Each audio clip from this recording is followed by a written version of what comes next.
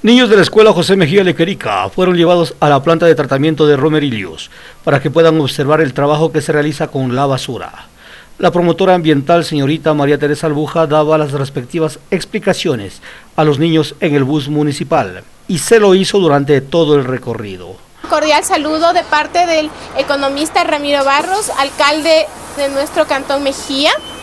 El día de hoy nosotros vamos a realizar el recorrido en las instalaciones del Centro de Tratamiento y Disposición Final de Residuos Sólidos.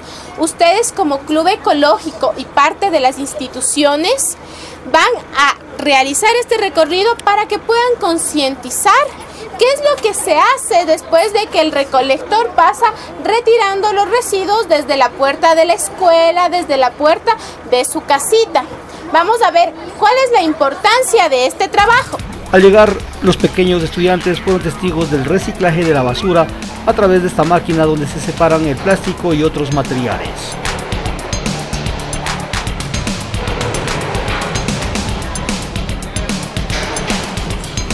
Conocieron también el tratamiento de desechos orgánicos para producir el bokashi, un abono muy efectivo.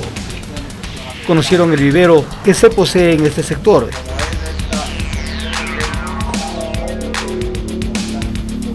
y también el tratamiento de exiliados.